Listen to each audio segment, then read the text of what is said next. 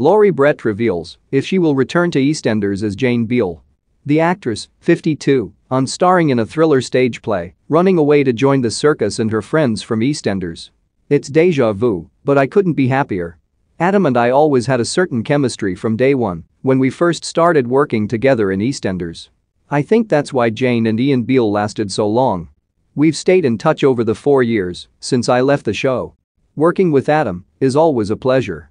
We know what each other is thinking, whereas with some people it's not so easy. Probably Adam suggested it. I've worked with the producer before when I was in the stage adaptation of Kay Mellor's Band of Gold. I'm sure they put their heads together and came up with me. My daughter is 10, and I'm aware that I've only got a couple of years before there'll be doors slamming in my face. I want to make the most of this opportunity to be around her while she still wants me to be. It's a crime thriller. Tom and Kelly Bryce are a pretty normal married couple and Tom finds a memory stick on the seat of a train. He brings it home and with good intentions tries to find out what's on it, but that takes them on a rollercoaster journey. Tom inadvertently becomes witness to a murder. Things escalate and he and his family end up in danger. There are lots of ups and downs and twists. I can normally always tell we done it, but I didn't get this. It's a genre that the public absolutely love, and I'm one of them. I can't wait for the next crime drama to come out. It broke my heart when Line of Duty finished. It's inevitable that people will say, oh, it's Ian and Jane on stage. There are similarities between all couples who have been married a long time. However, the characters are quite different. Jane was a doer, but Kelly is an unfulfilled woman. She doesn't work, and she's missed a lot of her potential. And Tom is a lot stronger character than Ian.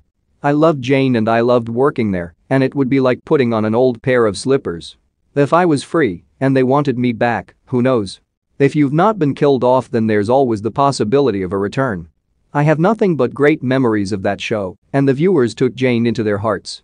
She was an everywoman. The workload got on top of me. I'd left, had a baby, and then went back when she was four months old. I left EastEnders and went to Waterloo Road. Then I was doing both EastEnders and Waterloo Road and I think I burnt out. My daughter was growing up and by the time she was six she was saying, I don't want you to go to work, mummy. I had to get a bit of work-life balance. Nobody knows where Ian Beale has gone, but if he's anywhere he's with Jane. They're probably in Florida, having a great time. I was a dancer, and I saw an advert in the stage newspaper for a job with a traveling circus. I was only 17. We went to Guatemala, Honduras, Mexico, El Salvador and Costa Rica. I was working as a dancer and a magician's assistant. I was away for just under a year, and there was war going on in some of the countries we visited, but I was too excited to get homesick.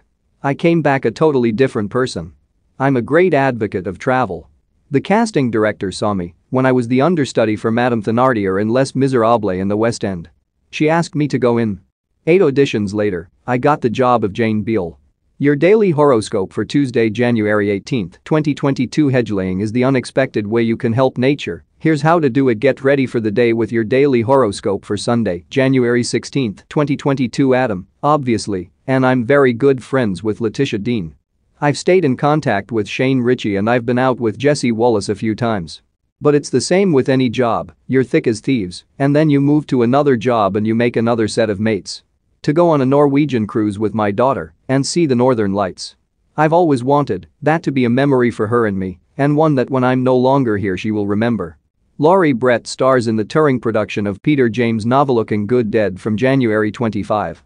More EastEnders star Tamzin Outhwaite's boyfriend rushed to